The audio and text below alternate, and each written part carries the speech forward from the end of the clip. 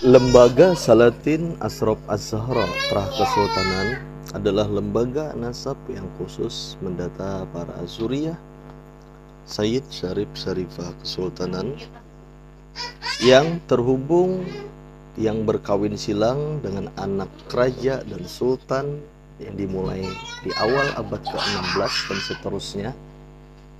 Tidak ada hubungan dengan lembaga mana pun apalagi ini di bawah intervensi daripada lembaga-lembaga yang lain.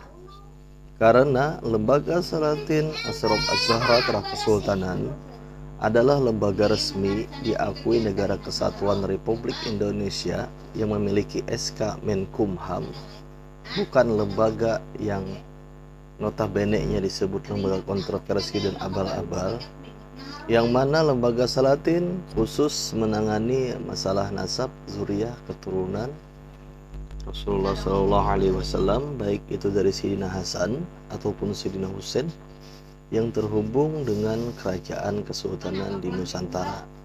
Baik itu leluhurnya dia menjadi raja, sultan, mufti, adipati, panglima, atau apa pun jabatannya yang berkawin silang dengan anak raja dan sultan.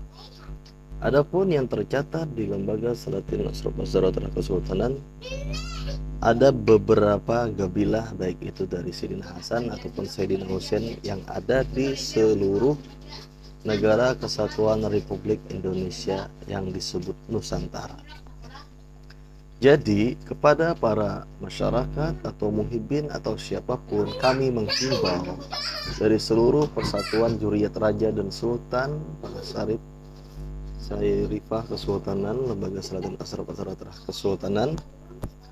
Apabila menemukan sebuah informasi baik itu di media Facebook, WhatsApp atau nomor di media-media lainnya yang mengisukan bahwasanya mengatakan lembaga Salatin itu adalah lembaga abal-abal dan lembaga kumpulan Habib palsu Syarif palsu itu adalah hoax dan tidak benar. Karena orang yang tergabung di lembaga Maktab Salatin Asraf Azhara Terah Kesultanan adalah orang yang betul-betul sangat jelas nasabnya. Dia wajib memiliki manuskrip kuno yang minimal usia 100 tahun. Kedua, memiliki sejarah leluhur dia. Ketiga, memiliki situs makam yang jelas. Keempat, bukti pengakuan daripada keluarga kelima nuswah kuno, keenam peninggalan sejarah, ketujuh situs-situs makam, kedelapan pengakuan daripada kerajaan induknya yang sudah distempel, dan kesembilan pengakuan daripada munsip-munsip pergabilahnya. Dan menakib daripada sepuluh menakib daripada keluarga besarnya.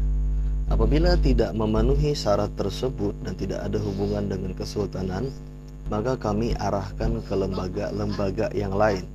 Dan sekali lagi, kami menghimbau kepada seluruh masyarakat baik itu di media sosial, media maya, YouTube dan sebagainya, jangan mudah termakan isu sara dan berita hoax yang ditebarkan di media sosial, baik itu yang ditebarkan oleh kelompok akun palsu atau kelompok oknum yang mengatasnamakan suatu lembaga dan lembaga itu di Indonesia ada kurang lebih 9 lembaga yang kami ketahui dan ada beberapa lembaga yang kami tidak bisa menyebutkan yang mana lembaga tersebut tidak memiliki legalitas. Adapun lembaga-lembaga yang resmi di Indonesia dan diakui negara kesatuan Republik Indonesia dan tidak ada sistem monopoli yaitu lembaga Salatin, Asraf Azhara Terah Kesultanan di antaranya yang khusus mendata para Sayyid Syarif Syarifah Kesultanan. Di luar daripada itu, mohon maaf bukan urusan kami. Karena data dan sejarah itu bukan keputusan manusia dan lembaga, tapi itu adalah hak keluarganya masing-masing dan haknya Rasulullah Sallallahu Alaihi Wasallam.